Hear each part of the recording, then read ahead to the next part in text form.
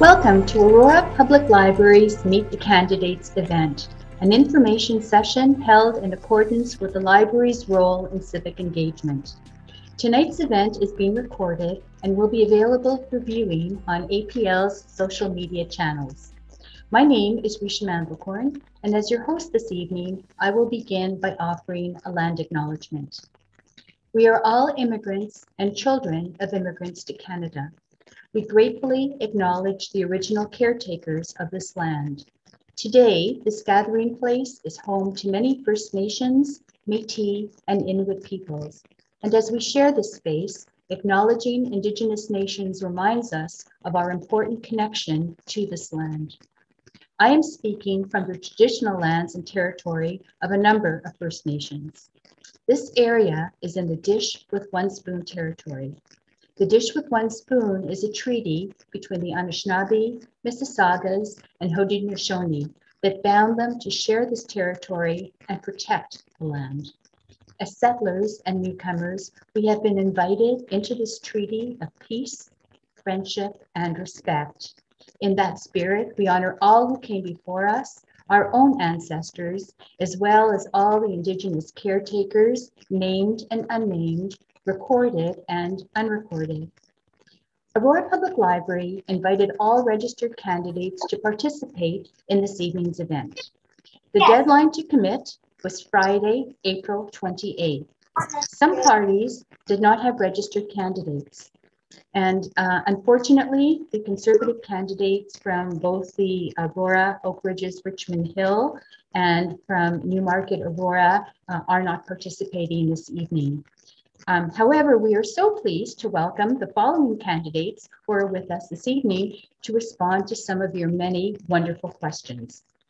For the riding of Aurora, Oak Ridges, Richmond Hill, Marjan Kasirlou, Ontario Liberal Party.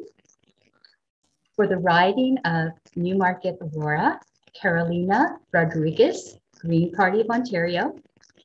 Sylvain Roy, Ontario Liberal Party and Dennis Heng, Ontario New Democratic Party.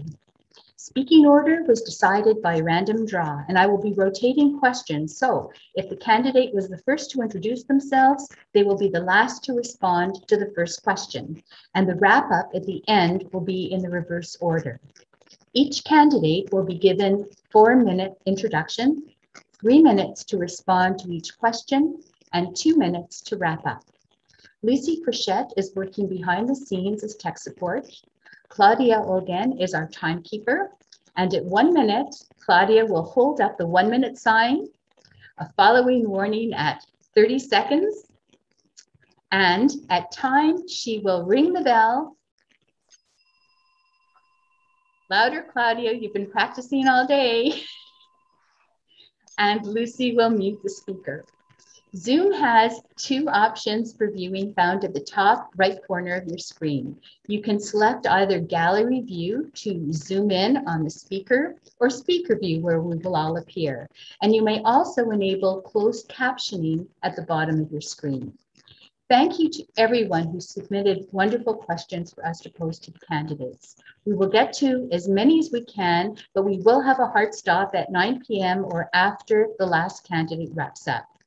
Candidates have been advised to respect attendees by speaking directly to your questions and were reminded that there is no debate or rebuttal permitted. And now we're going to start with introductory remarks by each candidate, which will be followed by your questions. So uh, up first, if I could please ask Aurora Oak Ridges Richmond Hill Ontario Liberal Party candidate Marjan Kasirlou to start us off this evening.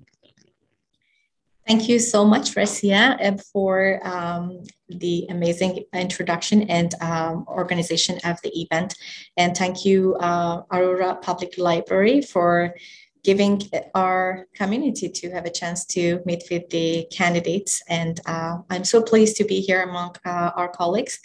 And um, I would like to start with uh, a little background about myself. I'm a registered nurse by profession, and I have been advocate for public health for entire my life.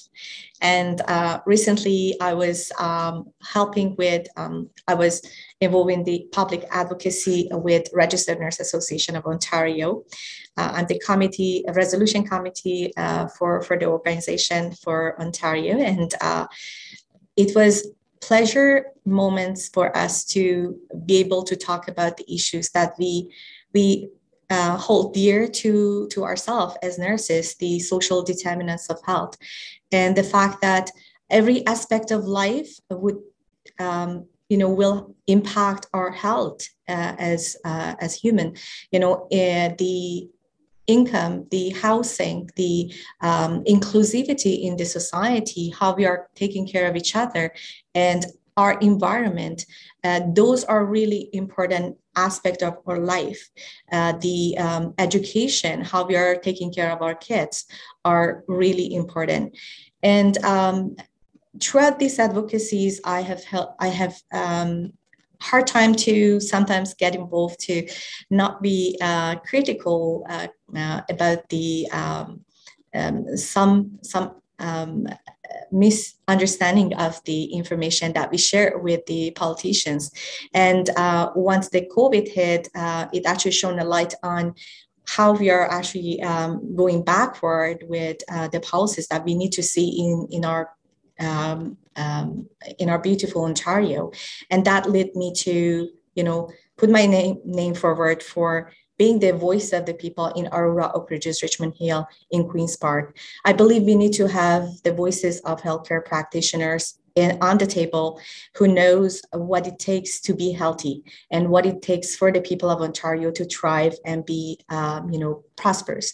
I have a kid in public school, and I've seen firsthand how frustrating it could be for the kid, for the you know families, and how tough it has been for the teachers in our, um, you know, in Ontario in the last couple of years, um, dealing with um, being, you know, working in a condition which is underfunded knowing that government have not used billions of dollars in, in education and us as a parent are feeling you know left out. So this is important issues to me and um, that we need to really work hard on that. In terms of the environment i, li- I live in oak ridges moraine. I, I live in oak ridges and i believe we need to keep our oak ridges moraine alive for our future generation.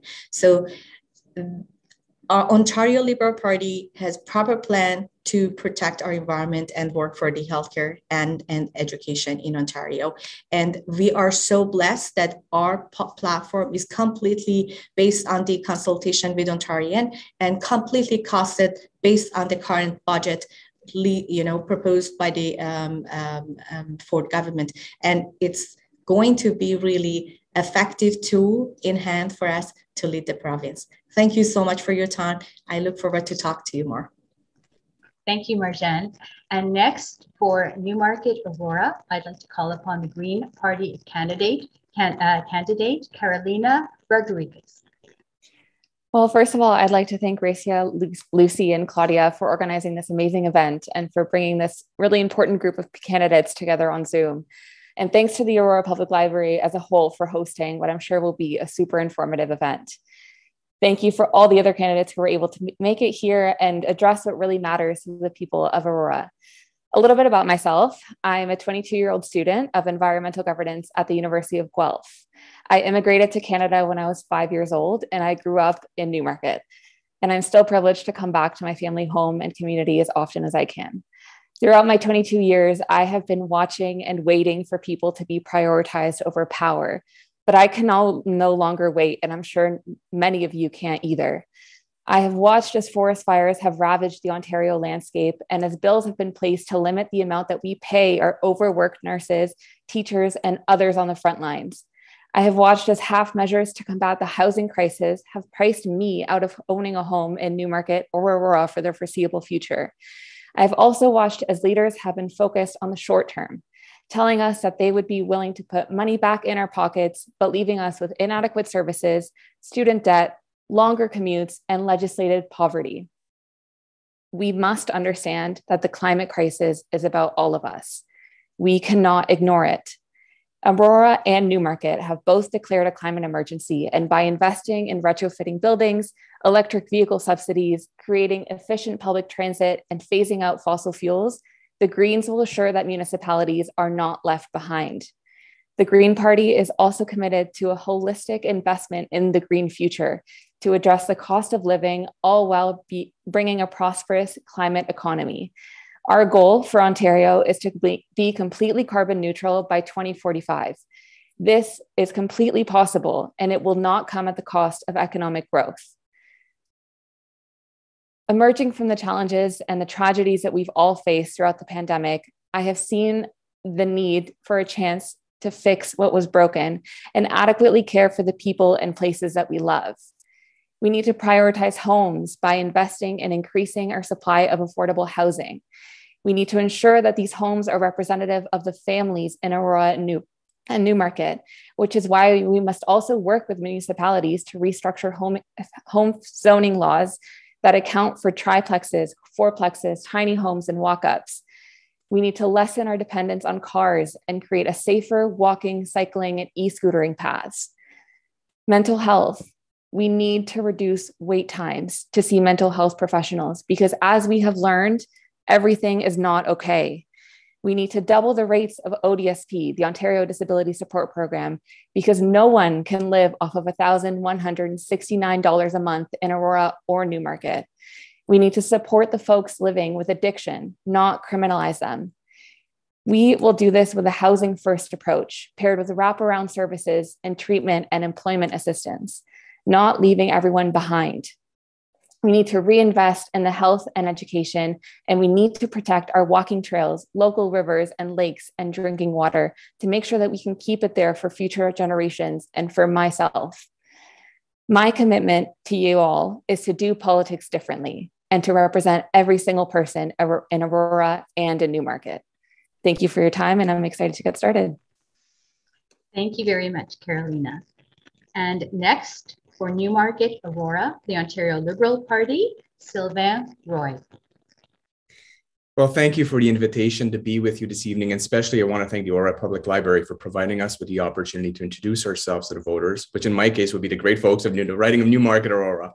Um, we also get to share a bit about what has motivated us to get uh, to step up to serve you because service is at the heart of why we are all in the, the, virtual stage here tonight. So, a little bit about me. I did not start off life in the area, which I suppose is a similar story to some of you on the Zoom call tonight. I actually hail from a small community in Northern Ontario called the Nakina, and you can Google it. It does exist, a very small community way up there. And actually that's where the road ends so look it up.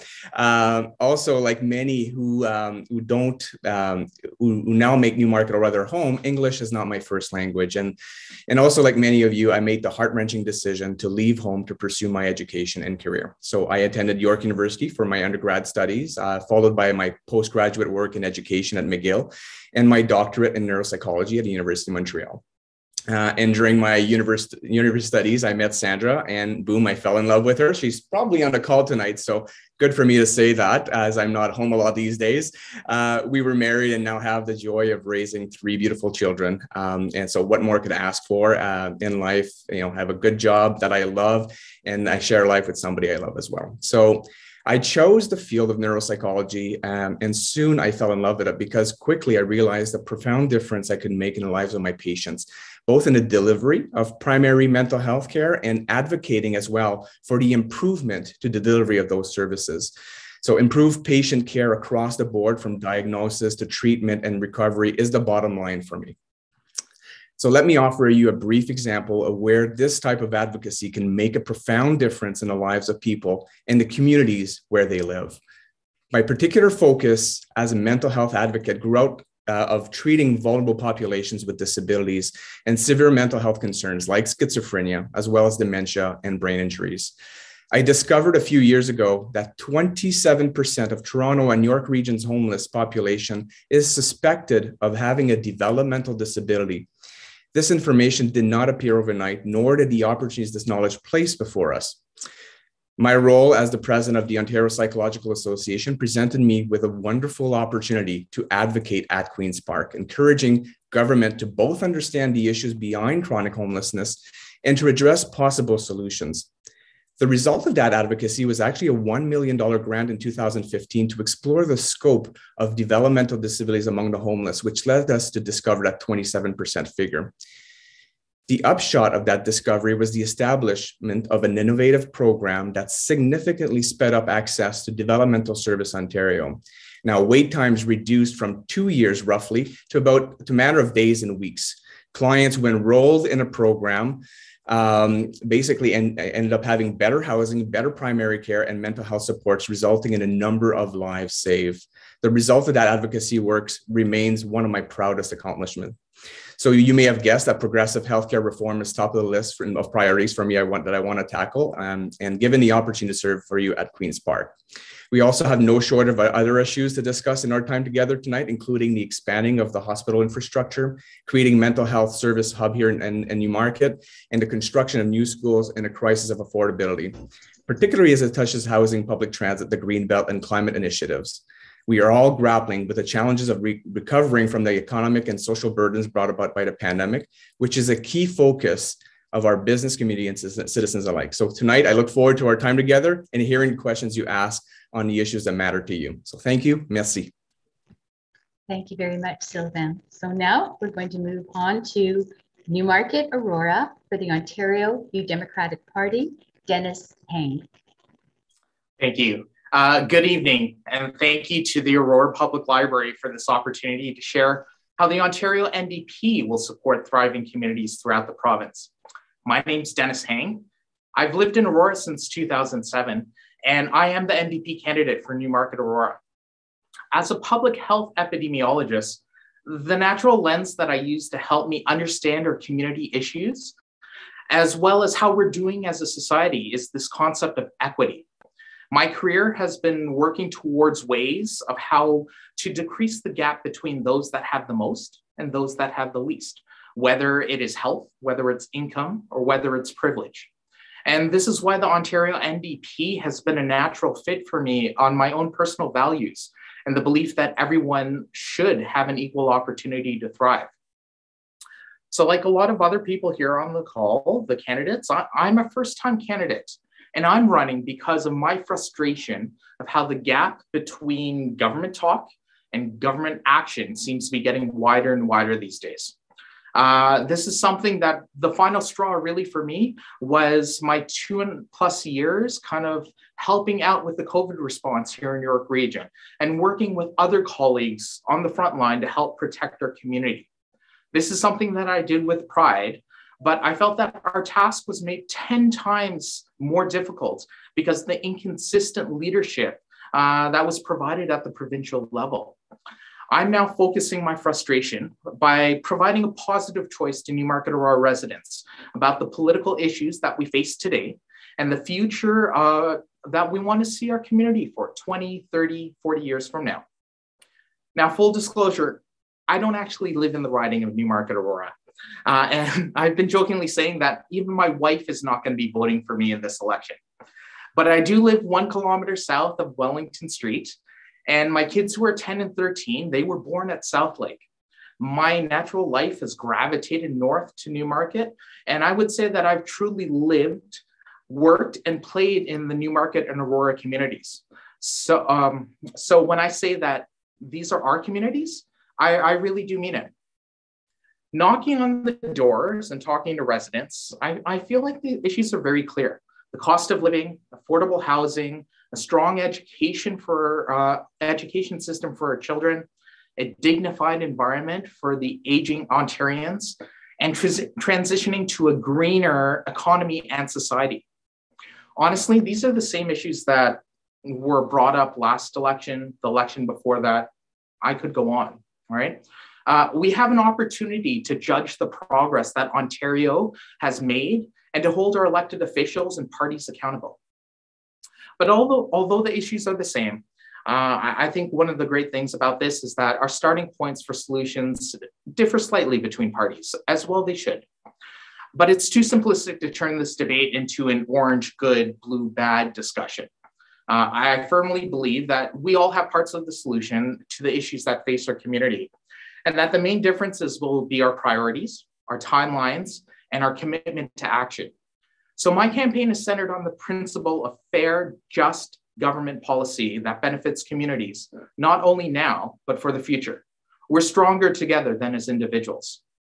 The NDP finished second in this riding uh, in Newmarket Aurora uh, in 2018, and I'm looking to build on that momentum. The NDP is committed to meaningful action, not just words and unfulfilled election promises.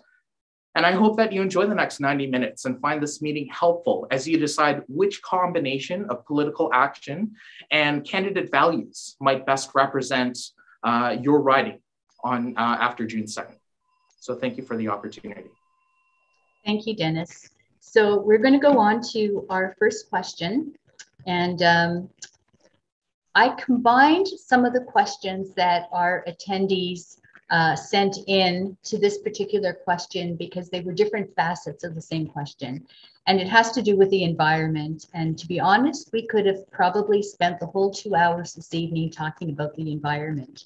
So candidates, please take notes. It's a long question. What is your party's environmental plan, including start date, criteria to show the strategies are working, and moving to a second plan if necessary. Areas of interest from attendees include concrete policies to deal with development and preserve environmentally sensitive lands, whether First Nations, communities, and all stakeholders will be at the table, and the elimination of all carbon sources including your position on small nuclear power reactors to drive a carbon minimized growth economy.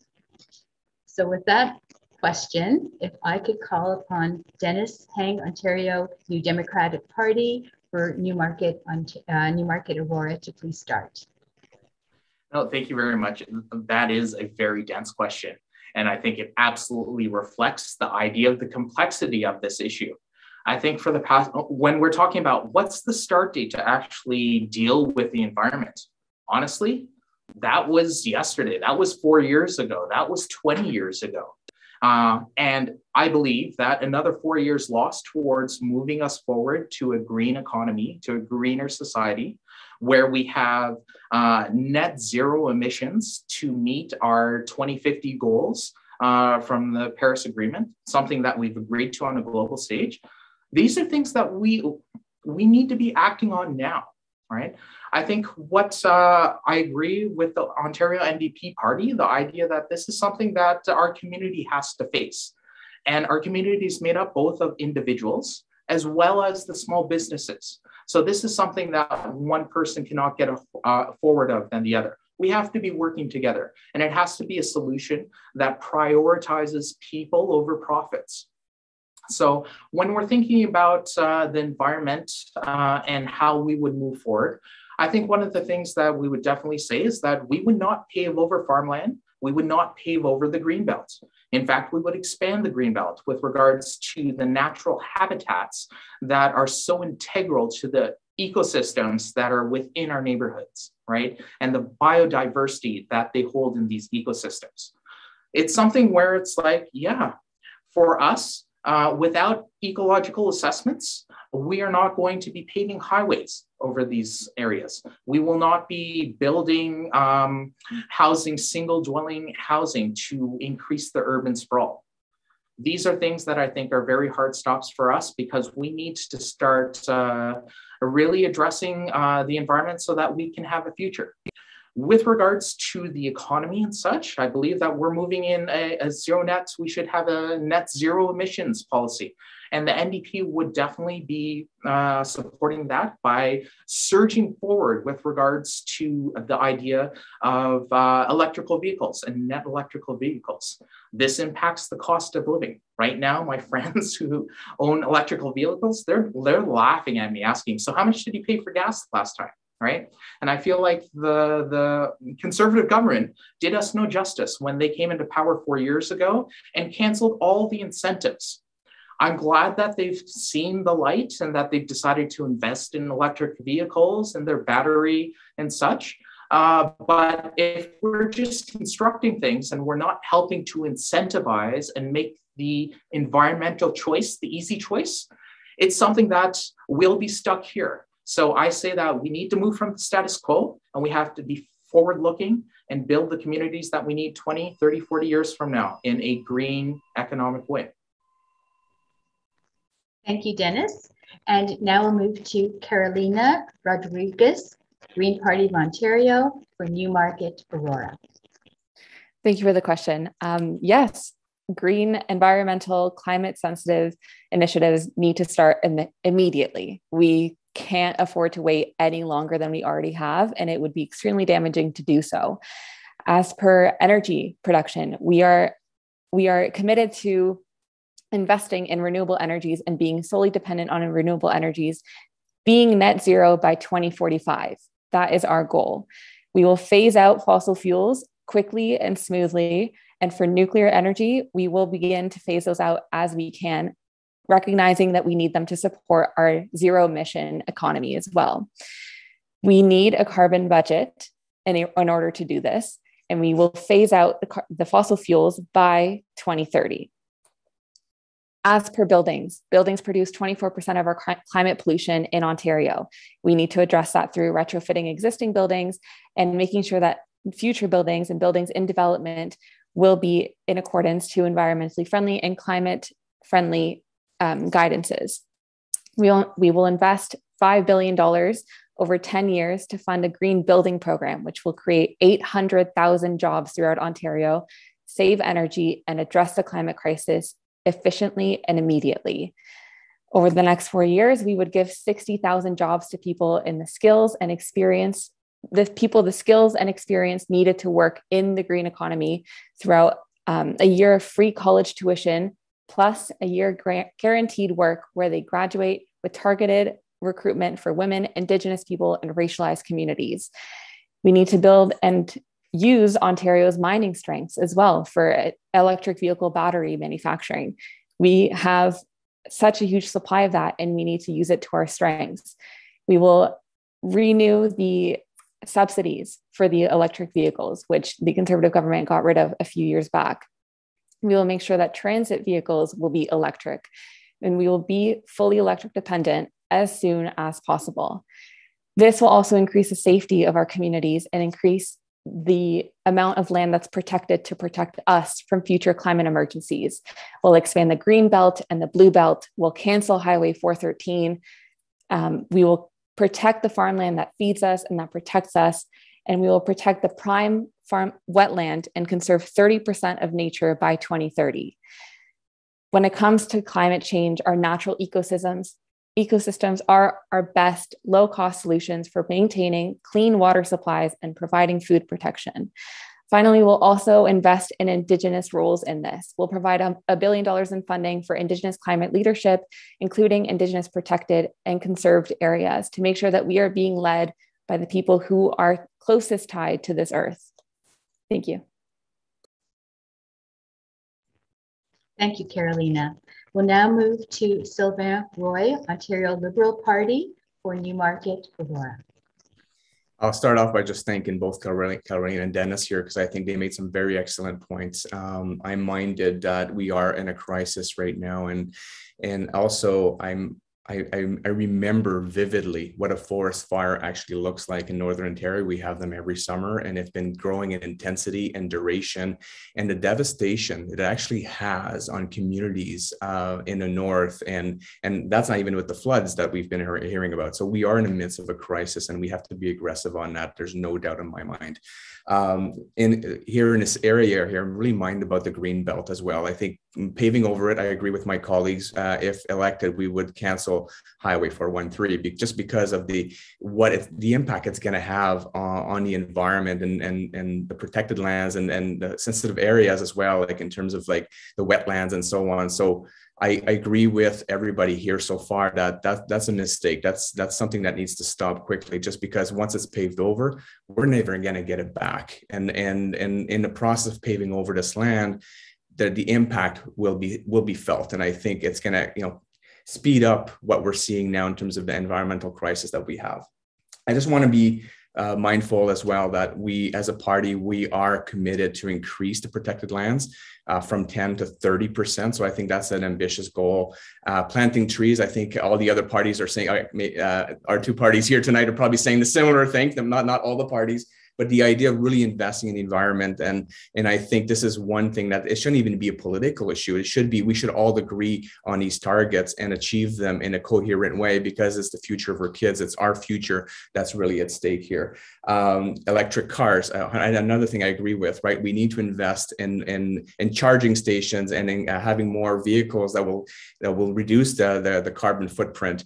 Um, public transit is another one right? An easy win if we encourage people to use public transit we get them off the highways. So one thing that I, I do believe that was pretty bold on, on our on our on a proposal is that we want to make uh, and we're going to test that for a year or so, making the transportation transit a dollar per ride. So if you're using local transit or the GO train, so that will encourage people to to hop on the train and, and use public transit more. And the hope is really that we are going to get these cars off the highways, that thus again helping us reduce those emissions. Um, so I'll leave some a little bit of, uh, of breathing breathing with my colleague Marjan here, who's going to probably add a few things to the environmental uh, platform that we have. But I encourage you to just visit our website and, and definitely look at all the priorities we had set forth. I believe they're ambitious and they will meet the needs of our community. But beyond that, the environment more broadly in Ontario and Canada, I think we will have a really good thing to say. And the, if we achieve those things, it's going to have a massive impact on environment. So thank you. Thank you, Sylvain. And now we will move over to Ontario Liberal Party candidate for Aurora Oak Ridges Richmond Hill, Marjan Kasirlou. Thank you so much. Um, as I said, I live in Oak Ridges and, and Oak Ridges Moraine is really close to my heart. And I do believe that, and I'm so confident that Ontario Liberal Party has, you know, put the sleeves up and are eager and, um, and um, uh, you know, ready to make sustainable climate action plan because we need to have really a plan that um, we we are not going to have another uh, of conservative government who come and slash whatever have made uh, like um, we had before. Ontario Liberal Party brought Ontario uh, Ontario top of the uh, um, you know efforts on climate actions and we were on top right now we are saying that we are going behind what we're going to do we're going to be a government net zero emission by 2030. And we are going to um, cut carbon and methane pollutions by more than 50% uh, by 2030. And Ontario will be um, net zero emission by 2050 as supposed to be. We are going to achieve our goals. And in, in terms of energy production, we are going to invest more on clean energy and transition to fully clean electricity supply. We will ban new natural gas, uh, natural gas plants, and phase out our reliance um, on it. And also, we're going to eliminate um, the fee for rooftop solar charging panels. We need to invest more on clean energy to be able to have the sustainable climate action. And this is what we're going to do. We're going also to support Indigenous and Northern Clean Energy Project. This is how we can build Ontario um, better. And in terms of the um, green green green belt, we are going to protect our green belt and expand on the green belt, and in and uh, also um, we are going to make sure that not only we are you know planting the trees we also creating the jobs for for young people to work on the green energy. We are also going to bring back the um, rebate for um, the electric vehicles and, ex- and, enhance it. And every family can afford to um, have their own you know um, the electric vehicle um, for yourself for themselves and also be able to have the charger uh, in in their own home. So we will actually cut the gas consumption and also it will uh, be so powerful tool to to uh, protect our environment. Thank you so much for your time. Thank you marjan The, um, the next question, some of you touched on it in your answer, but since several of our participants um, submitted the question, I think it deserves its own space. So I'm going to ask it directly. Highway 413, what is your party's position on the building of Highway 413 and would you try to stop it? And if I could ask Marjan Kasirlou, Ontario Liberal Party for Aurora, Oak Ridges, Richmond Hill to start the conversation, please. Thank you so much. Uh, this is really huge, um, um, you know, project that will um, damage our Oak Ridges Moraine. It will damage so many, you know, um, the huge land in uh, that should be agricultural spaces.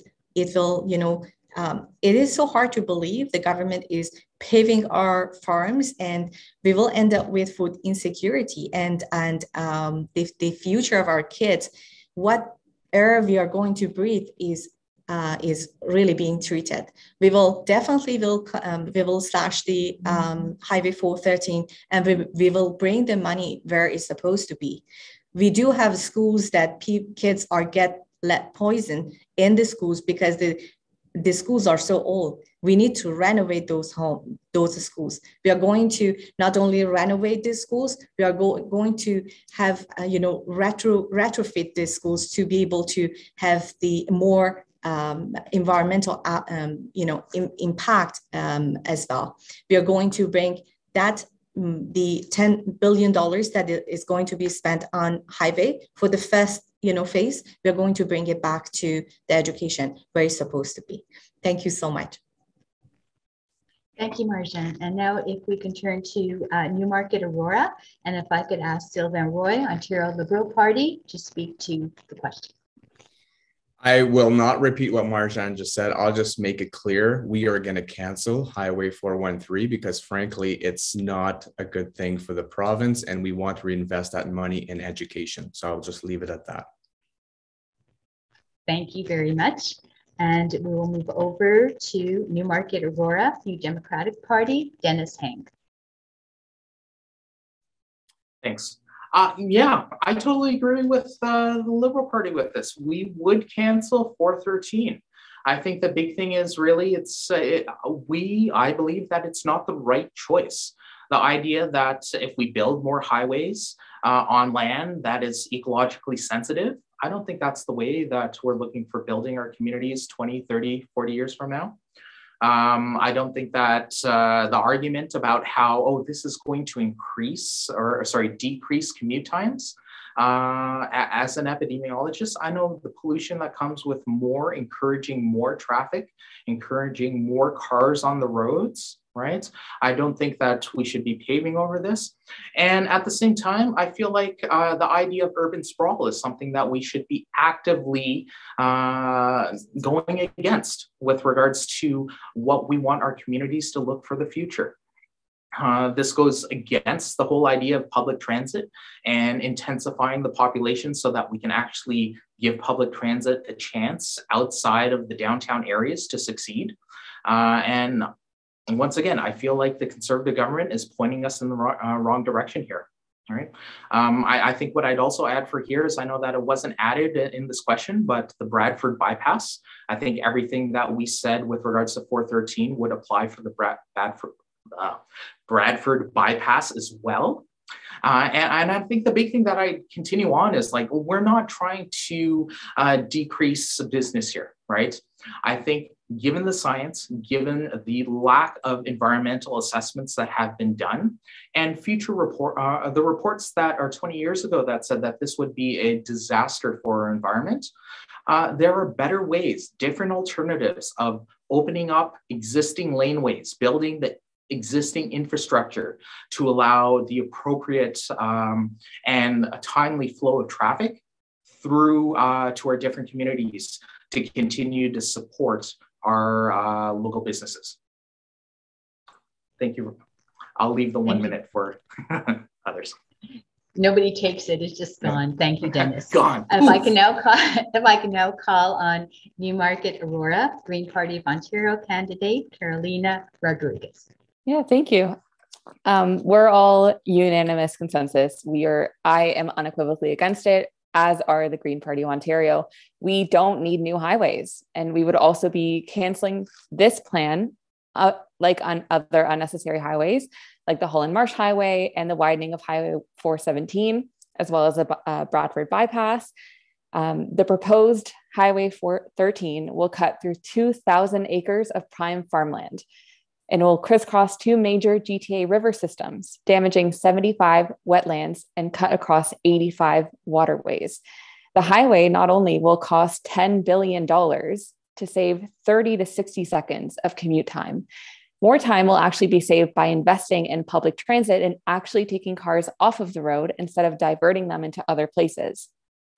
More highways also means more congestion fully we are fully committed to stopping urban sprawl as well and building livable affordable connected communities instead of sprawling outwards building within.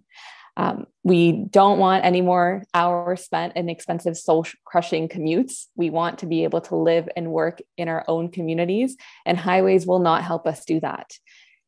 As for public transit we will immediately cut transit and fares at least in half for at least three months across all Ontario transit systems, including municipal, GO, Northland services. And um, it will also help people avoid the soaring costs of gas as well. Um, and yeah, other than that, super against it. And I'm glad that we all are as well. Thank you, Carolina. The, um, the next question, I'm going to combine uh, two questions in under the umbrella of healthcare and long-term care homes. The first part is, what do you see as the biggest health care challenge now? And the second part is, will you reinstate strict regulations and frequent unannounced inspections of long-term care homes and bring all such homes under the authority of public health rather than for-profit care? And for question number three, we are going to start off with Carolina Rodriguez for the Green Party of Ontario, Newmarket, Aurora. Thank you. Um, yeah, so the biggest challenge that we have in healthcare is a lack of funding. As we've seen, we've, I'm sure we've all experienced some hospital stays or visits to Health Southlake, and Southlake is the epicenter for hallway healthcare. That is just not right. We need to help them expand and account for the influx of patients that they're experiencing. We also need to repeal Bill 124. This bill is putting caps on the salaries of healthcare workers. And this is just not right because the work that they're doing is far too important to cap the money that they deserve to earn. Um, another issue with healthcare that we have is the lack of funding for dental health as well as mental health care. These are very two very important pieces of healthcare that would be preventative measures and save money, not only money, but also save a lot of public suffering by investing in them. As per um, long term care homes, we also need to reinvest in those. There has been far too much neglect and privatization in long term care homes that does not account for the protection that our elders and our seniors need to live fulfilling and long lives. We're all going to get there. So, we all, well, if we're lucky, we're all going to get there. So, we all need to invest in caring for our elders. Specifically, we would be building 55,000 long term care beds by 2033 and 96,000 by 2041 to meet that growing demand. Um, we would phase out for profit long term care homes and stop licensing for profit, stop pre- licensing new for profit long term care homes to actually ensure accountability in our long term care homes. And they're not just here for the money. We will also repeal Bill uh, 218 that will shield long that now shields long-term care home owners and operators from their liability for negligence. So we need to remove that off the table and make sure that the owners of these homes are responsible for the people that are living within them. Um, we will also create new responsible system for formal oversight that will ensure this accountability within the long term care homes and not have the atrocity that we faced throughout the pandemic, where so many lives were lost because of their placement inside of these homes. And that's all I have to say for that. Thank you, Carolina. If I could now move to um, uh, Sylvain Roy, Ontario Liberal Party for Newmarket Aurora.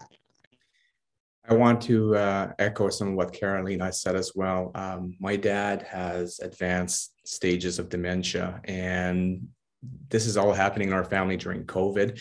So we were hovering between home care, between long term care. And uh, I still remember going in a long term care facility where we put my dad. My, my mama has health care issues as well. So she couldn't care for my dad for a while. And he was he was transferred to long-term care facility. We walked in and we just saw a bunch of older people with dementia warehoused in different rooms no social interaction no rehabilitative programming and so on. And that was a problem before the pandemic but the pandemic really highlighted the gaps in care that we have in the province. And to see my dad and to see family members stuck in little rooms um, and with no engagement and and no ability to socialize in a meaningful way.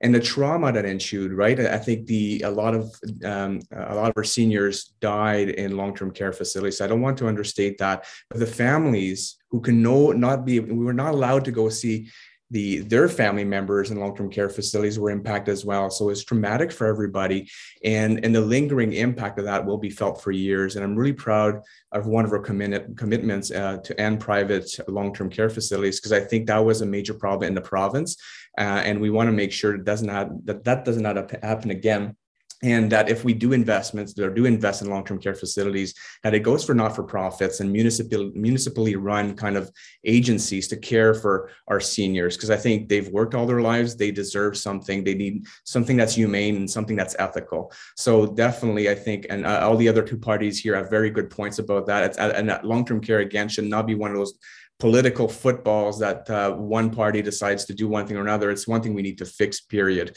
Um, COVID highlighted as well the workforce challenge. We've lost nurses, we've lost long-term uh, uh, PSWs and long-term care facilities, and home care was impacted as well because a lot of inequities the salary caps, all these kind of things, the bouncing from one home to the other in terms of staffing and and PSWs need to multiple shifts and multiple homes just to make ends meet. I think at the end of the day was another thing that really uh, hit home for me that we need to fix right away. So we need to rebuild the system. It has to go away from private more to public and municipally run. And after that, we might get at something. And and those warehouses because they're not that's not the way to go. And that's not certainly not some a way i want to age um, as i retire and so on. So I, I, want a society that cares for me and, and in such a way that's humane and ethical. So thank you for that question. Thank you sylvain and now i'm going to uh, ask dennis Heng ontario new democratic party newmarket aurora to speak to the question uh, no, thank you for the question uh, for the people who submitted this. This is something that I really find is I, I always find these questions difficult. What is the biggest healthcare issue? really because I, I, think that it kind of distracts from the idea of saying if there's one biggest issue the idea if we fix this everything will be all right and i think it takes away from the complexity the nuance of it really it's the it's the system it's the continuity of care that we need to be working towards to improving right it's not just simply oh if we build another hospital well, that's going to be amazing for healthcare, right? Because I know that a hospital isn't the building. The hospital is the people that are inside it, the healthcare workers that uh, provide the care, provide the compassion with regards to it. So I think there are a lot of things here that I would also, the Ontario NDP would find um, a commonality, right, uh, with the other parties that we would be building towards the idea that I find that I, I don't know how uh, profit competes with compassion. And in for-profit long-term care homes, I feel like that was an element uh, to the to the delivery and the COVID response. So my uh, the NDP would take that away, just like some of the other parties. Right, we would transition to a not-for-profit uh, long-term care sector. But really, the long term care homes, those are the last places that we really want to be putting our, our, our aged Ontarians, right? A lot of Ontarians, as they age, as our demographic gets older, they want to live in age in place. They want to have affordable housing themselves so that they don't have to be in a long term care home. So I think the investments that we, uh, the NDP, is having with regards to improving home care, improving community care, allowing um, P, uh, personal support workers and other healthcare workers to really be able to provide the support that they need within the community so that people are able to age in place. Uh, so really, I'm thinking about the continuum and how complex the healthcare system is, and really wondering, okay, who's the government here that's going to have the political will to start tackling this like big, great big hairy problem, right? If we tackle it where it's just one issue, one issue, one issue, I'm not sure that we're going to get to where we need to go because the minute we fix something, something else is going to break right?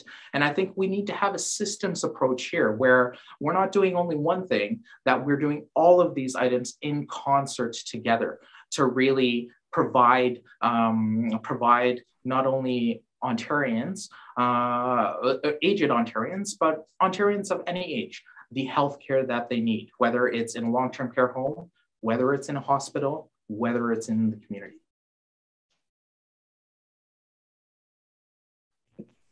Thank you, Dennis. And if I can now ask Marjan Kasirlou, Ontario Liberal Party for Aurora, Oak Ridges, Richmond Hill. Thank you so much. Um, one of the, yeah, actually, I would like to um, on what um, my colleague uh, Sylvain Roy actually mentioned about the long-term care facilities, as I have been uh, involved in um, leading a project in, in long-term care homes in Toronto and York region. And I understand that uh, we do have long-term care homes that we still have not only um, elders, but even younger people in nursing homes.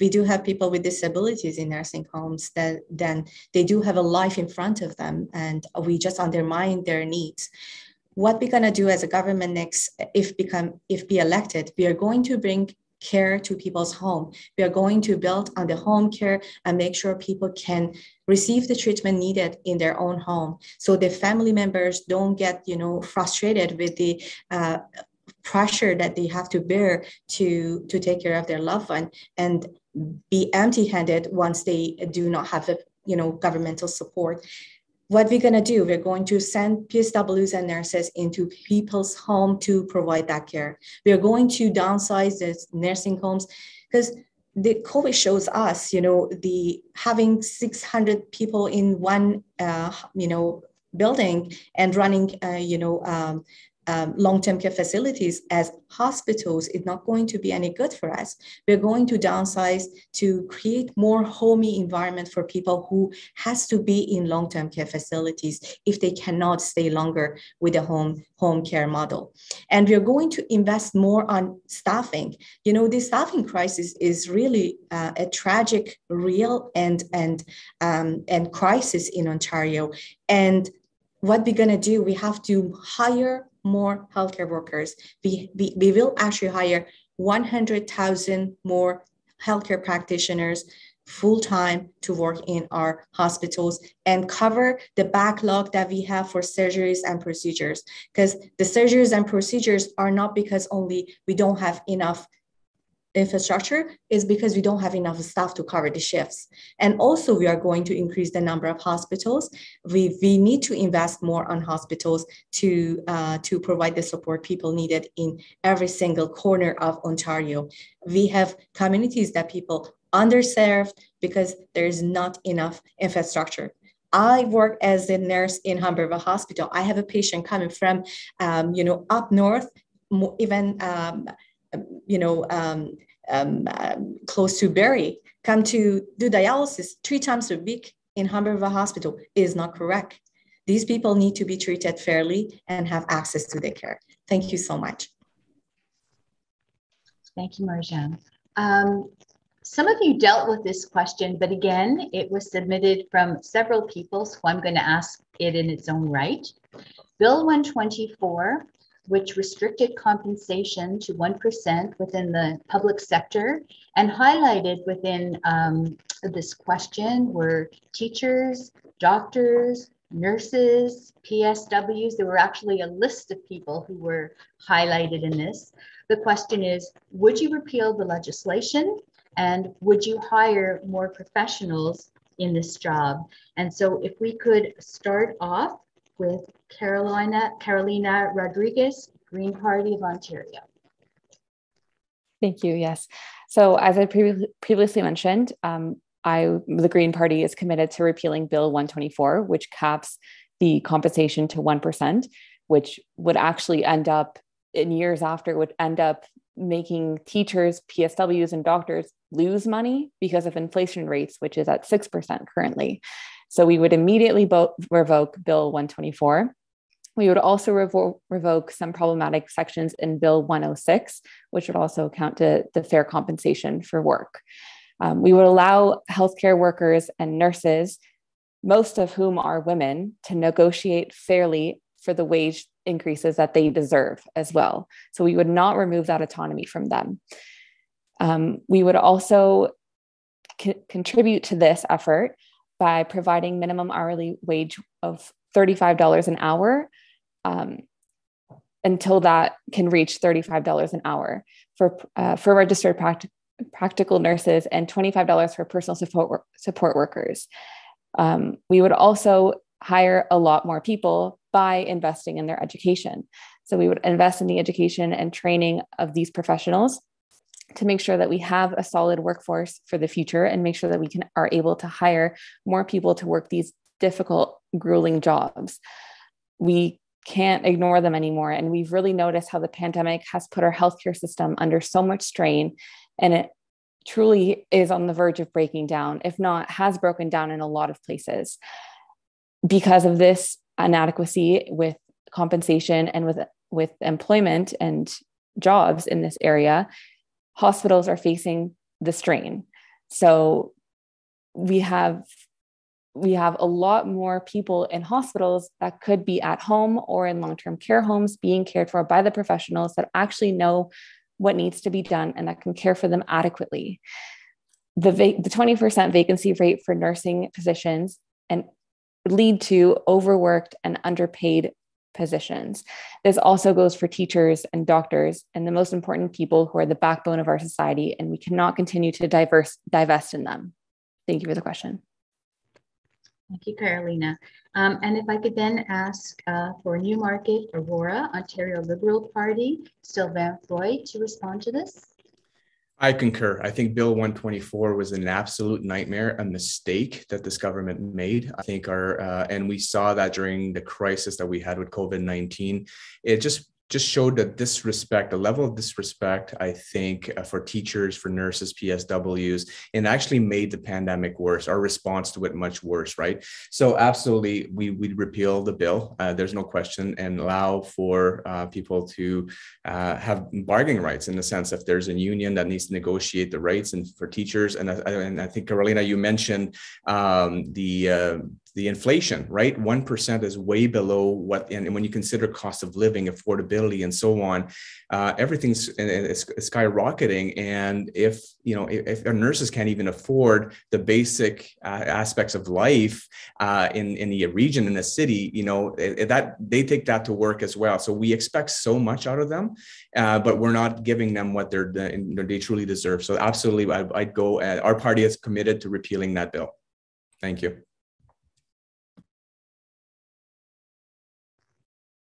Thank you, Sylvain. And now if I could ask Dennis Heng for the um, Ontario New Democratic Party for Newmarket Aurora to respond.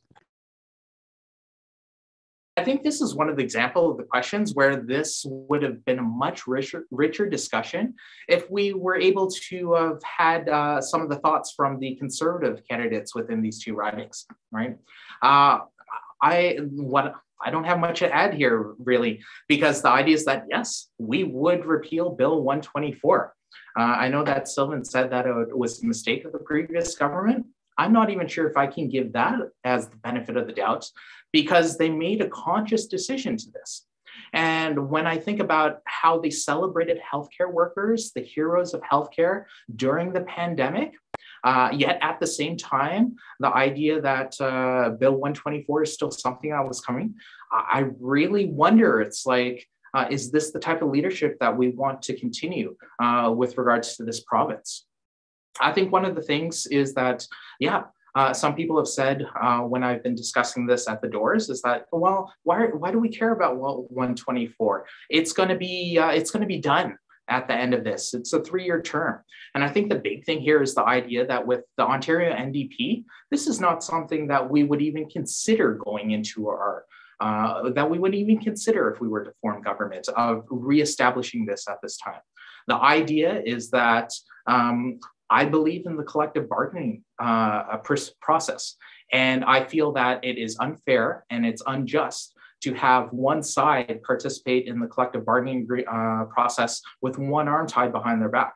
Um, in, in some ways, people might say that it's not actually collective bargaining.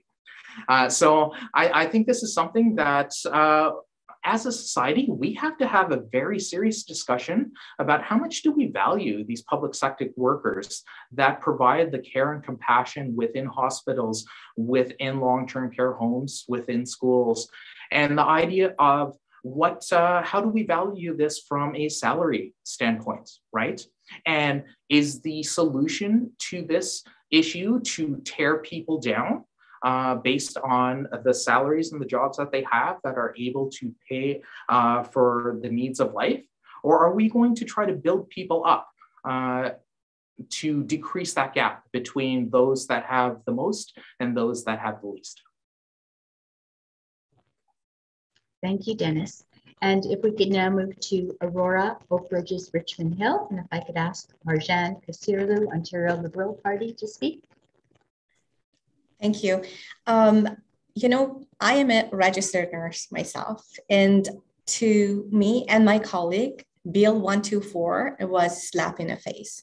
I'm telling it as not only because it applied to nurses, it seems discriminatory, you know, policy facing, you know, kind of, you know, um, forcing the uh, the most um, the, the teachers, the, the nurses, PSWs, the profession which is mostly run by women. And I feel this is something we need to really be cautious about once we are talking about conservative government. We need to be really inclusive. And also, we need to make sure it is not going to happen again. As Liberal uh, government, we are going to repeal Bill 124 and also the section of 1 uh, 106. And we also will make sure the nurses and teachers have been compensated fairly. We are going to increase the number of nurses and teachers. We are going to increase, uh, hire um, more nurses and hire 100,000 nurses, doctors, and healthcare practitioners into our healthcare system. And also, we are going to hire 10,000 teachers and 5,000 special educators into our schools. We need to really build on what we need to have for fruitful and prosperous communities. And nurses and teachers are the forefront of it. We cannot have sustainable healthcare in Ontario without um, healthy communities in nursing field. We cannot have sustainable future for our kids without having um, um, enough teachers to teach our kids. We are, we are going to cap our class sizes in 20 so we, we don't overwhelm our teachers, make sure they are feeling, you know, um, ready to take care of the kids that they have received to, to teach. And this is really important concern. Our nurses, our teachers have been facing in the last couple of years under Ford government. We are going to make sure we are giving the chance for the um, you know nurses and teachers to thrive and also help our, our, our next generation. Thank you so much. Thank you. Um, I'm going to group two questions together uh, under the theme of Indigenous people. The first part of the question is, how will you bring Indigenous peoples into projects that infringe on their rightful land? And the second part is, how will you ensure that real and immediate action is taken to provide clean water to Indigenous communities? And we will start with Newmarket Aurora Green Party of Ontario um, candidate Carolina Rodriguez. Yeah, thank you. Um, so the Green Party has put Indigenous people at the center of its platform, especially our environmental policies. We understand and believe wholeheartedly believe that Indigenous people have the right to have a voice and deserve to be there. Um, we would start by implementing UNDRIP to ensure the equity of Indigenous people in all of Ontario. We would establish a truth, a true nation to nation relationships with indigenous people. We would work within them with them not beside them or against them. We would genuinely work with them to support land defenders and assert their to assert their treaty rights and actions taken to confront the threats of their traditional lands for clean drinking water, we would have to work with the federal government. And if they would not be willing to, then we would be asking them to fund our efforts to work to build um, clean water infrastructure. What we need to do is invest in these communities. We need to be able to transport the infrastructure that is necessary there and that is able to be done. We just need some effort to do so. Um, we would provide a billion dollars in funding for protect for protected and conserved areas, which would also contribute to the clean drinking water in their areas. And we would not prioritize corporations over their lives. We understand that Ontario is a big um, mining province, but that doesn't need to come at the cost of Indigenous and First Nations groups throughout. We would also, uh, on in conjunction with working with the federal government, we would immediately end all boil water advisories through the protection of their water systems, protection of their land, and through the investment in their infrastructure. We would also restore funding for the Indigenous curriculum program, per, curriculum program and work with Indigenous educators directly and community leaders to develop a mandatory curriculum on colonialism, residential schools, treaties, Indigenous histories, and experiences. For a long time, we've ignored these things and we've done them um, not with the full effort that we could. A third thing that we would do is make a national day for truth and recon- reconciliation a national, a statutory holiday we introduced that this year and it was a very big moment, but we didn't make it a statutory holiday, which makes it difficult to celebrate wholeheartedly. We would also improve the availability of supports and services in other languages in remote communities, as well as the far north, that would prioritize um, French language, Indigenous languages, and make sure that those are all a part of the Ontario government um, policies and accessibilities. Thank you for the question. Thank you. Um, and now if I could ask Newmarket, Aurora, Ontario New Democratic Party candidate Dennis Heng to respond to it, please. Uh, yeah. Um, there are a lot of good things here. And I think it starts off with the land acknowledgement that we had for this meeting. Uh, and I think the really challenge here is that we need to do better, right? I think all parties need to do better. All of society really needs to do better. And the idea that, once again, we're guilty of saying the right things, right? But we need to get to transformative action. Uh, we need to disrupt the power structure here. Just like we are all immigrants or children of immigrants to lands of the indigenous people here, we're all talking a good game, but really it's the actions that will really play out what we should do. I, I don't think that we need to do a lot more uh, planning or talking. We have the plan in front of us. We have the truth and reconciliation. This is something that we can see. What is the progress that has been made? And the idea that we have not progressed far enough right now. I think the big thing that we're committed to do as the NDP really is once again working with Indigenous people, peoples, working with their communities. Uh, and really, it goes more than just working with them. It's the idea of empowering them. And I think this is something that I look at what government has done. Government is not very good at giving up power. And I think that this is a, quite the issue of a power issue. That if we are actually going to get to justice for Indigenous peoples, that means that we have to give the power up and provide it to them. Right. Uh, this kind of goes along with the idea of uh, the, the the gap in society indigenous uh, indigenous peoples are definitely uh, those t- uh, groups in our population here in Newmarket and Aurora, as well as the rest of Ontario, that I would say are not some of the most privileged uh, in our society. We have the expertise to really address drinking water, right? We have clean drinking water in our cities right now. I know that I can go to my tap in Newmarket, Aurora, and I can get a glass of water there. Uh, I don't have to have bottled water or such. And I think these are the expertise that over the next four years from the next provincial government, really, this is a really easy way to see how accountable we are and what progress we have made. So I think the big thing really is, once again, working with Indigenous communities, providing them with the supports, and really getting to the meaningful action. Uh, because we've said a lot of words, we've spent a lot of time thinking about plans, and really it's just having the political will to move forward. Thank you, Dennis. And if I can now move to Ontario Liberal Party for Newmarket Aurora, Sylvain Roy. Yeah, and thank you for that question. And thank you, Dennis and Carolina and everybody else on this call, because I think there's an alignment here that we need to prioritize Indigenous peoples. Um, I'm reminded uh, when I was growing in growing up in Northern Ontario, my mom used to love bingo and she would drive us to a place called Aroland, which is a small native reserve about five kilometers from where I lived. And she'd drag me along, right? I hated bingo, but she'd drag me along and and I, I would play with the other kids um, in Aroland. And I still remembered, and this was in the 90s.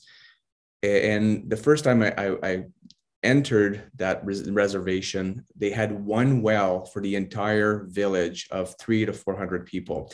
A well, so the, so no running water in the homes and no that means no toilets. So in the wintertime in the Nakina it gets to minus 40 minus 50 sometimes as well. So just think about that scenario. We're in the 90s here and that went on for years and years and years. So no drinking water. Um, they would have to go sometimes to rivers and fill up their buckets and bring them home. So that image of of where we are and you know a realization of the privilege that i had growing up in in a middle income home I had drinking water, and we're just three, four kilometers away here from them. Drinking water. I had a, a, a roof over my uh, over my head, and and that struck me as a, at a young age that something wasn't right. And in, more recent times, I'm just reminded as well about all the burial sites we've been hearing about as well.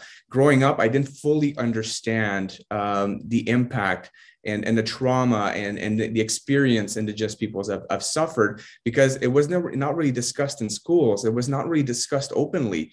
And I saw this, but I didn't understand this as a child and now in, in retrospect i think there's so much more we could be doing to support and just and just and water drinking water is just one basic human right that we should have. And dennis you made you just mentioned we have the technology we have the ability and it boggles my mind that it takes us so much time to get drinking water and in, in, in our in our reservations up north and and throughout communities uh, in Ontario. So definitely, I think our party as well is committed to working towards this issue. It's not like the drinking water. I think it might not like you, you mentioned, Carolina, the federal government. I think this is a, co- a coordinated effort. We need to work towards that truth and, reconciliation. It has to have meaning. And at the end of the day i think yeah the culture preserving the culture the language all these things are important. But more importantly i think we just have to listen. And then when something needs to be done we just need to act on it as well. And that's that, that that's the that's what we need to focus on. There are a lot of issues mental health trauma all these kind of things we need to support indigenous peoples. And i think we can do it.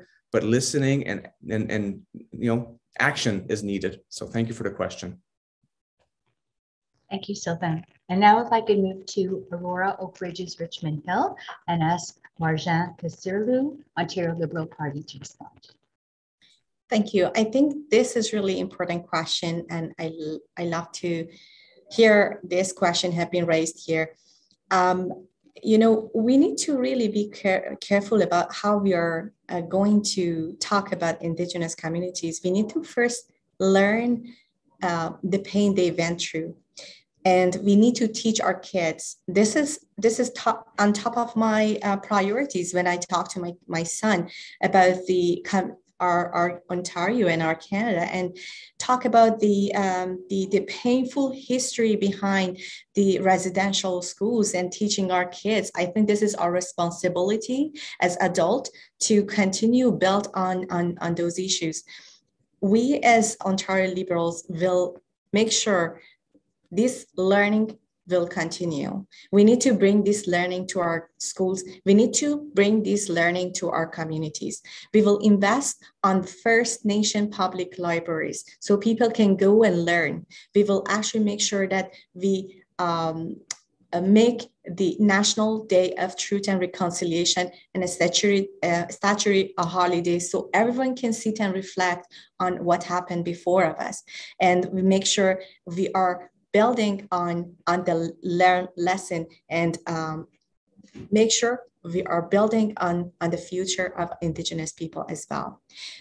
The you know, having the boiled water advisory shouldn't be a discussion. I think we are going to, as a liberal, we are going to make sure we are working toward, toward safe, clean drinking water for uh, our indigenous communities. We are going to restore reserve wetlands and watersheds for indigenous communities so they can rely on. And also we're going to build upon the, uh, you know, make the indigenous community stronger.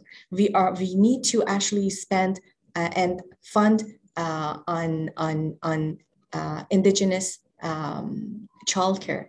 We need to make sure we are investing on businesses, small indigenous small businesses. We are going to bring $25 million for indigenous small businesses so they can thrive, they can be empowered. And uh, that empowerment will actually make communities stronger. And that's what we're gonna do. We are going to make sure we are um, building 22,000 new homes for office off reserve indigenous communities for families so they can call a place home. And um, this is really, really small pieces of uh, what Ontario Liberal will do, and we will make commitment that be uh, forefront on, on working with indigenous communities for the policies that we need to bring. Thank you. Thank you. And uh, the next question, that was actually a very good segue when you mentioned homes, because the next question is on housing. What specifically do you want the government to do to help with housing unaffordability and lack of affordable rental options in this riding? And we're going to start off uh, with Aurora Oak Ridges Richmond Hill Liberal candidate, Marjan Kasirlou. Thank you so much. Actually, I'm hearing this question over and over again at the doors.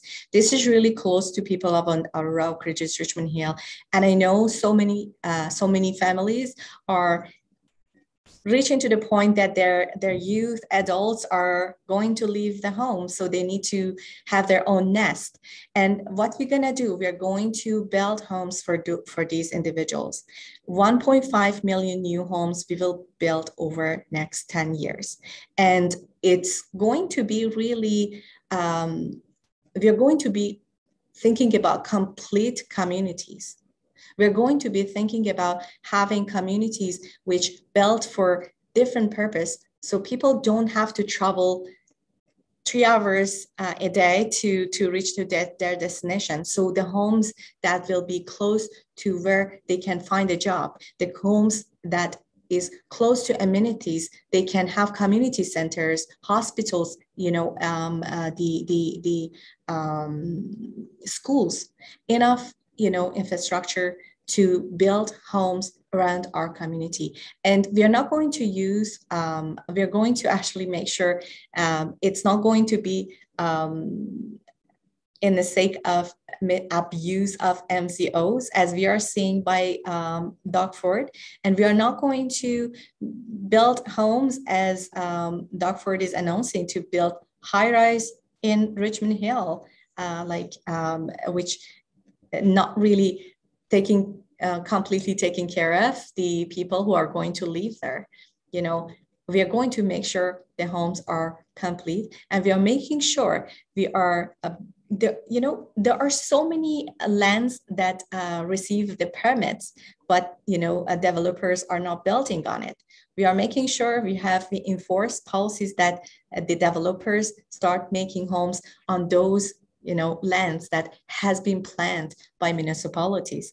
And we make sure the people who um, there are options for people who want to rent homes.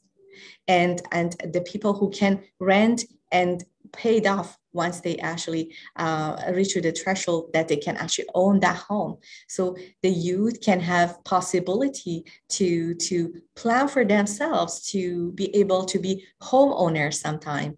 And uh, also we are going to make sure we are, um, we are banning non-resident ownership for new non-resident ownership because we do have empty homes across our writing and even once i'm knocking on doors there are uh, i'm seeing many vacant homes in our riding these homes need to be used by our people if someone comes from overseas to invest in our um, in our lands thank you Thank you. And if I could now ask uh, Sylvain Roy, Newmarket Aurora, to speak to the question, Liberal Party.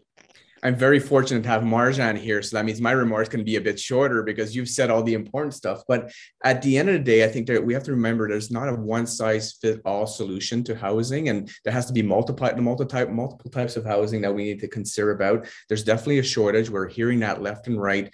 Uh, and we have to start building. We have to really invest and really, you know, we can't leave the markets decide at this point in time because the prices are roaring everywhere, whether it's on rental side, whether it's in a home ownership side. And we have to, you know, we have to act on it. And government has a role to play here in, in, in helping with the supply, but also the other issues that Marjan mentioned that is kind of not helping the affordability issue. And I'm thinking like supportive housing, social housing, rentals, first time ownership. And there's one thing in particular that resonates with me as a young family. I, am a dad with three young kids. I, I, was fortunate. I bought my home five years ago, but I would not be able to afford this home today if I were to buy it or look for a home. So a lot of young people out there have no options. I've met one young lady today that was living at home with her parents. She just finished university and she was saying, My boyfriend and I are looking for a rental, but we can't even afford that right now. So I think it's a story that uh, I think all the candidates here have heard at the doors multiple times. It's in the news and it's really it's an it's an elections issue. Um, so we have to start thinking about this the, the what are we going to build and and and where and intensification to some extent. And Carolina, your party is one thing that I as a homelessness advocate, tiny homes I think it's something that resonates with people that could have a, a drastic impact on, on, on the housing supply issues that we're having now with folks that could benefit from it. But I'm also want to add the supportive aspect of men, like the mental health component. A lot of folks in in in in the region, Toronto, York region, and even Ottawa, everywhere, there is a need for supportive housing where you know they, there has to be some homes available, but then the supports as well. So to me, housing is is vast. It's big. We have to build. We have to invest, and we have to do it quick because I think the affordability crisis is getting worse. So I really appreciate that question. So thank you. Thank you very much. And Carolina Rodriguez, Green Party of Ontario, Newmarket Aurora, it's yours. Yeah, thank you. And thank you, Sylvain, for mentioning that because I believe that housing is a right. And I think a lot of people do here do as well. And we also agree that we need to build homes, but it's not just about building homes, it's about building with a purpose. We can't just keep building in, on the sprawl and extending and extending our neighborhoods because that won't contribute to the affordability of them. That'll just continue contribute to the unaccessibility and the car dependency that we face day to day here in Newmarket and Aurora. Um, we are committed to building these homes in a way that's climate friendly and also neighborhood friendly. We also know that housing affordability is not only dependent on the supply, but it's dependent on govern- government regulation. Homes were expensive four years ago and they're only getting worse now. And if this continues, I will never own a home. Uh, we need to we also need to implement a multiple speculations homes multiple home speculation tax. So this would mean that people with multiple homes would be taxed on those owning um, three and above. So on their fir- third home they would face a tax which would discourage the multiple home ownership and the for-profit ownership of homes. We would in this building of homes, we would also require a minimum of 20% of affordable units in accordance to the local income levels. So we won't just build them, but we'll make sure that they stay affordable. We'll also reinstate rent control and implement a vacancy control limit so that rent doesn't increase in between tenants. Specific, specifically for new homeowners, we will end blind bidding this will significantly reduce house, housing prices as it increases the transparency in the purchasing process. Um, we'll also make inspections on homes mandatory so that buyers aren't left with expensive um, refurbishing and expensive um, restructuring of the homes that could have been done at the seller's expense. This is also all going to be in accordance with our 15 minute communities, which increases the accessibility, the affordability, and the transit of our community itself. It'll be a place where you can walk and cycle and work um, and live and play all within a short 15 minute commute, which would be either walking, cycling, driving, or through public transit. We will also freeze urban boundaries to stop the sprawl. We will work with municipalities to change uh, zoning laws so that we can actually have our triplexes, quadplexes, tiny homes, and walk ups, and everything that actually reflects different types of living in Ontario and not just one type of family. Last thing I want to say is we will retro, uh, produce grants to retrofit housing to reduce the cost of utilities. Once you own your home, you don't want to pay skyrocketing prices for the use of natural gas, and we want you to be able to afford living within it. Um, yeah, that's all I have. Thank you for the question. Thank you very much, Carolina. And if I could now turn to Dennis Heng, uh, Ontario Democratic Party for uh, Newmarket Aurora to respond. Sure, absolutely. I, I, think once again, this is one of those topics that if we had a PC candidate here to kind of provide that full spectrum of what uh, the plans are for affordable housing, I think this would have really enriched the discussion. Um, for me, I think that, yeah, I, I don't think that the conservatives are pointing us in the right direction with regards to affordable housing. Uh, increasing urban sprawl, uh, building highways, and building more single detached dwelling homes, uh, even though that's, uh, I don't think that's affordable housing. I know that I can't afford it. And I'm in the same boat as Sylvain that if I had to buy my house right now that I bought 15 years ago in Aurora, I wouldn't be able to afford it. And I have a 10 and a 13 year old who, just like Carolina, is the idea that I really wonder if they'll be able to afford a home in Newmarket and Aurora. Uh, because honestly, the bank of mom and dad has other issues that we're going to have to deal with uh, moving into the future. But I, I, really think that affordable housing means different things to different people. And I think that's the biggest thing that we need to do as a government to provide choices choices to people at all levels of income. So whether it is we're talking about affordable housing for people who are ODSP, we're talking about affordable housing for new graduates that are trying to move out of their parents' home. If we're talking about affordable housing for uh, aged Ontarians who are trying to downsize, I think those are the options that we need to get to and start building the supply. But once again, I feel like this is something that I disagree with, the vision that the conservative governments have. Uh, their use of the MZOs and the idea that in the town of Richmond Hill, they're building a transit oriented community, which sounds great, but they totally trampled over the plans of building a complete community that the town of Richmond Hill had. Instead of having commercial on the bottom and residential on top, with green space so that we can build the 50 minute communities that I totally agree with Carolina. Doug Ford has decided no, we're going to be building all residential 60 to 80 story homes, uh, and we're going to force these people to commute along the public corridor down to downtown Toronto because there won't be jobs in the local area.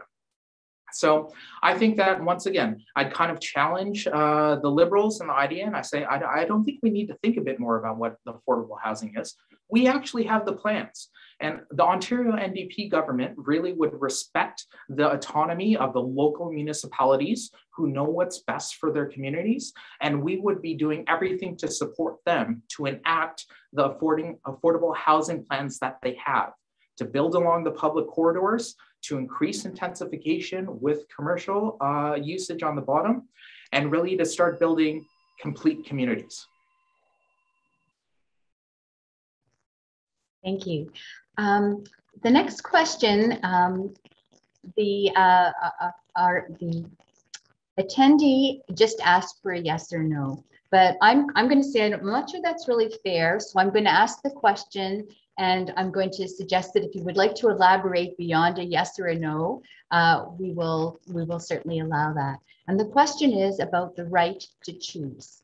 If a free vote was held in the legislature to support continued public funding of abortions and women's right to choose, would you personally support these bills? Uh, yes or no? uh, but you can say more than yes or no. And we're going to start off with Newmarket Aurora candidate, uh, Aurora um, Ontario New Democratic Party, Dennis Heng. It's an unequivocal yes. Um, I, I, really believe that kind of uh, building on what Marjan has said with regards to women's equity uh, and the idea of my, my background with regards to public health, I do believe that um, uh, women's health, uh, this is something that is an absolute yes um, from me. Thank you. Um, and now if I could go to Newmarket Aurora, uh, Ontario Liberal Party, Sylvain Roy a woman has the right to choose. I don't even know why it's coming up. And frankly, uh, I think the news in the United States is really, um, it, it's kind of shaking some of the things that the core beliefs that we have in, in Canada now. And I think it's very important for us to reinforce that. Um, the decision for abortion, for example, should be between a, a woman and, and her medical provider, for example. So right to choose. Thank you. And if I can go over now to uh, Carolina Rodriguez, uh, Green Party of Ontario, Newmarket Aurora. My answer is a wholehearted yes. Uh, people have the right to choose whether or not they would like to give birth. And if it has something to do with a medical issue or a personal issue, this should not be discriminated against, regardless of what their circumstances are. Um, not providing free and fair abortions and healthcare for people who give birth is an issue of equity um, because we know that it, people who don't have access to this will be the poorest in the society will be the people that aren't able to make it to clinics and that aren't able to fly to different countries to get the access that they need. So if we start legislating this out then the people who are have the privilege of being able to leave and go somewhere and get the healthcare that they need will be able to do that, but it'll be the poorest who aren't able to. So this is not only a women's right issue, this is not only a gender right issue, but this is an issue for everyone. One, and it should not be anything less. So, yes. Thank you. And now if we can move to Aurora, Oak Ridges, Richmond Hill. And if I could ask Marjan Kasirlou, Ontario Liberal Party to respond. So to me, actually, is definite, definite yes. Um, women need, women should be able to choose uh, if they need to, if they want to give a birth or not. And this is, this is, um, you know, really strong, really strong uh, issue for many, many young women. And, uh, and we need to make sure they do have a chance to to decide for their own uh, life. And and uh, it will actually impact uh, even a kid who's going to born and um, and have have a ha- happy life. We need to make sure uh, we are um, you know taking into consideration that women has a ch- right to um, you know choose how they want to live and and uh, for the better sake of uh, the kid who is going to be born as well. Thank you. Thank you. Um, we're going to take one more question before we do closing. I have to tell you, candidates, you've got a lot of door knocking to do because I have a list of questions that we're not getting to, but we will take this next one, and it has to do with education. Um, and the question is, what will you do to provide post-secondary education for the training of personal care workers to serve francophones in North Region. And if we could start the question off with Aurora Oak Ridges Richmond Hill Liberal candidate, Marjan Kasiri.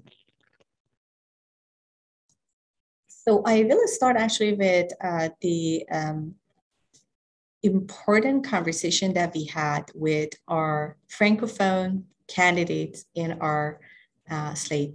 So one of the important part of the inclusivity is to make sure that we bring the we, we, we will bring uh, all aspects of you know life and also make sure the people who are living with and and they, they speak with different languages have been uh, taken care of not only uh, the francophone but also I'm, I'm thinking about even the immigrant with different different cultural background. And we do have that uh, important issue in our healthcare system that uh, we make we need to make sure we can serve people as best as they can understood and as best as we can we can serve. Um, i do have myself sometimes you know challenge because i don't know french and unfortunate i have to learn from my son. He started learning french and teach me and uh, i do believe that we need to um, have that uh, you know extra layer of understanding of each other and um, and this will not be done without us uh, knowing uh, their language. And um, for sure, this will be included into, you know, the Francophone, uh, you know, part of our platform is completely robust and uh, have been delved into every pieces of our pl- platform and inclusivity itself is uh, really uh, important in, in our platform. And thank you so much. And I do believe that uh, even not only PSWs and personal support, uh, personal uh, support worker, personal care workers, but in other jurisdictions, you know, nurses, they healthcare practitioners need to be able to communicate with uh, people uh, from the fran- francophone communities and also uh, from from people who are immigrated in Canada many years ago, but they are struggling, especially once they age. They need someone who can speak in their own language. And I think this is an important part that we need to delve into a little more deeper and um, be able to serve. Thank you so much.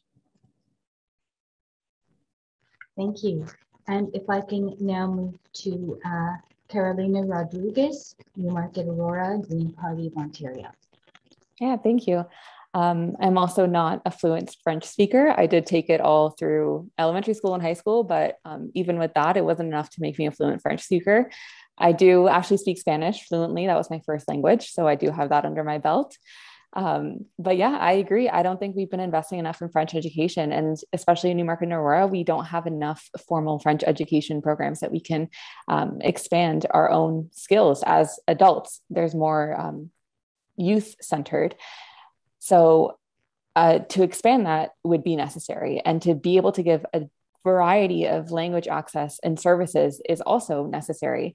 Um, not only that, but we also need to address the issue of OSAP grants. Um, four years ago, OSAP grants were significantly reduced, which affect a lot, affected a lot of people's capacity of uh, rejoining um, the education force or joining it at all. A lot of people had to opt for work instead of education or opt for loans instead of actually being able to just be free after their education. So we would reinstate those OSAP, OSAP grants that were lost um, four years ago. We would also invest in our healthcare training specifically for PSW care, um, which would then also invest in more jobs by also repealing Bill 124 would be adequately paying for those jobs. Um, we would also create incentives to increase the number of French speaking individuals in teachers' college programs so that more teachers are also fluent in French and can actually um, help with the education of French and transmission of that information and also just making more awareness of these programs that we do have. We do have them, they just perhaps are um, not in everyone's reach and need to be more broadly known. But yeah, I agree. I think we need, as Ontario, to be more fluent in French. It is one of our national languages, and we should be able to communicate with people throughout the country in more than one language. So thank you. Thank you, Carolina. Uh, if I can now ask Dennis uh, Ontario New Democratic Party, Newmarket, Aurora, speak. Merci beaucoup pour l'opportunité de répondre à ces questions, même si je ne suis pas un francophone. Euh, mes enfants sont, euh, je suis un francophile parce que mes enfants ont leur première langue de français. Um, I figure I'm totally wasting my time right now, but I, luckily, this is not a debate in uh, Spanish. But yeah, I'm not a francophone, but I actually am a, I don't even know what the English word is. Francophile, French lover. I don't know. Uh, my my kids are in the public school system for French, and their first language is French, thanks to uh, my beautiful wife and such. But I think the big thing here really is providing the opportunity at a post secondary level with regards to once again taking our expertise, taking our education, and having it taught in the language, uh, in the French language so that our skilled healthcare workers, our skilled workforce is able to have that technical knowledge in the French language and is not trying to translate that on the fly. And I think this is shown through support of the French speaking language universities and funding them. Um, but I also agree with Marjan here. It's like, uh, even though the question was specific to French, I think this is something that we definitely want to think about for other languages, right? And maybe this is filled by the foreign trained workers as we try to bring people in. Uh, as a healthcare worker, um, kind of in the public health setting, I know that if I had to have a, a health appointment in Spanish, I'm not going to be able to adequately express my needs with regards to um, what my healthcare needs and appropriately advocate for myself. So I'm all aboard with regards to not only uh, Francophonie, but also the culturally specific uh, uh, delivery of healthcare, delivery of services, because uh, York Region, Ontario, it's a very diverse place, if you haven't noticed. And it's something where we need to be welcoming to everyone that lives here and provide that comfort with regards to language and impress, uh, expressing themselves. Uh, so with regards to kind of like the post-secondary education, I think there are definitely ways that the provincial government can support uh, the planning of what we need, not only for French and other languages, in my mind, we have good census data. We're one of those countries that have good census data. We have an idea of uh, the different languages that are spoken in our community. And I think there is an appropriate way here to actually, I don't know, use data, use planning to figure out what are the resources we need to help uh, support the populations that we have in our communities. Thank you. And if I could now turn to Sylvain Roy, um, Liberal candidate for Newmarket Aurora. And you know what? You could answer this question in whatever language you choose. It will not be Spanish because nobody will understand a word of what I'm saying. Uh, but as a francophone, uh, I think, it, like, I was just going to start by saying it's an excellent question. It's une question excellente. Um, we have to remember that for francophones, um, it, you know, there's about six, 700,000 francophones in our province and it's it, healthcare and education it, those are hard, complex question. I still remember you know I, I, mentioned earlier my mother has health conditions but uh, in, she had to drive to thunder bay for medical appointments um, but she could not communicate in her native language. She does not speak English. So every time she went to Thunder Bay, she would talk to her medical doctors, nod her head, and you know basically could not necessarily understand. So in her mind, she kind of understood, but did she really understand? And a medical error, error happened one day where she took the wrong medications and it impacted her kidney function to the point where she required um, uh, dialysis and so on. So this is a traumatic uh, and critical uh, incident that should not have happened, particularly in Thunder Bay, where there's uh, enough francophones. There's some cities in the province where there's a, there's a baseline of francophones. There should be some available medical services available in French. So th- this is one one of many stories we're hearing in Ontario with francophone services.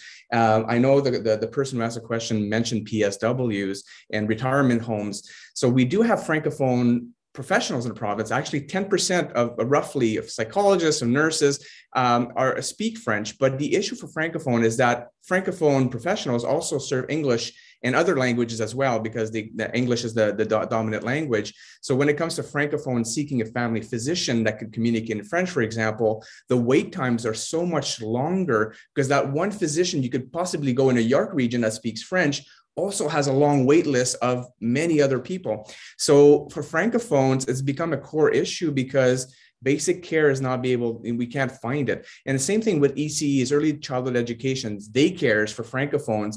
Now i love the fact that people are going and, and trying to get into bilingual programs and so on. This is great for diversity in a province. And frankie you mentioned spanish. Carolina i think we, any, we should have more and more languages. The more language we speak the better. Uh, but it's become a critical issue for francophones in the province because basic services are no longer available to them and it's really hard especially when it comes to medical. Um, so for us uh, and we've pushed hard behind the scenes any and we have a big workforce strategy that we're pushing forward with the liberal party but a big part of that will be francophone workforce. So whether we're looking for francophone psychologists or social workers or nurses physicians and so on we want to make sure that we carve a little bit of it for francophone services and make sure we, we produce more and more professionals that can speak the language again to expand access to basic uh, fundamental services like healthcare Thank you very much. And um, now we're going to go to closing remarks. We'll go in reverse order of the uh, opening remarks. So we are going to have two minutes each. And if we can start with Newmarket Aurora, Ontario New Democratic Party candidate, Dennis Heng. Great. So thank you again to everyone who has participated in this evening's candidate meeting. Um, I know that uh, unfortunately some people sent their regrets and hopefully they'll be able to watch this and see what the other parties are all about. I know that on June 2nd, Newmarket Aurora will be sending a new MPP to Queen's Park to represent our community, our values, and perhaps most importantly, our local issues.